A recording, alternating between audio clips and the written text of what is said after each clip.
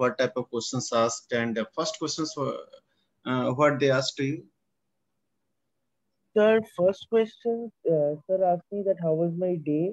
Mm-hmm. Uh, then sir asked me where do I live, how long did it take to come to his office. Mm-hmm.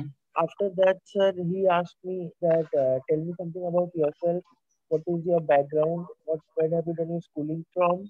Mm-hmm. Then uh, why did you change from hotel management to MBA? That I gave a good explanation.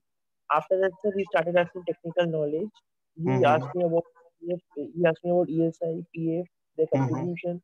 Then he gave me some situation-based handling questions, through which. I quickly handled it as per my way, and I felt so that the sir was comfortable with my conversation.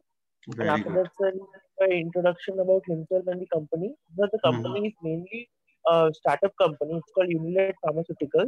They have Mhm. still not yet um, uh, uploaded their product brochure, but Mhm. they are making it. They mainly deal into medicines like painkillers, Calpol, medicines for sugar and arthritis. Mhm. And and sir, if I'm selected, then my job would be as a uh, HR would be that Mhm. they have 11 medical representatives who are doing the pitching of the product in the market.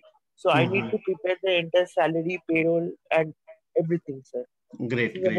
Okay. Srijan, one thing you tell me that uh, the things which you learned from here, right?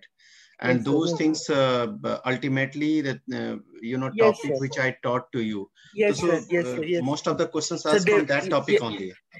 Uh, sir, yes, sir. This is relevant. It would be getting shortlisted or not, but I just waited it. Okay, let it get shortlisted. Then, sir, from Saturday and Sunday, whatever you taught me, like from payroll, recruitment, policies, in fact, the income tax rate, surcharge rate, everything I went through, so that Very I'm good. totally prepared. Sir. Really i am feeling very happy because you know uh, ultimately you know we do hard work for students and when students respond this way so then it gave me immense pleasure and energy. I wish you all the best for your future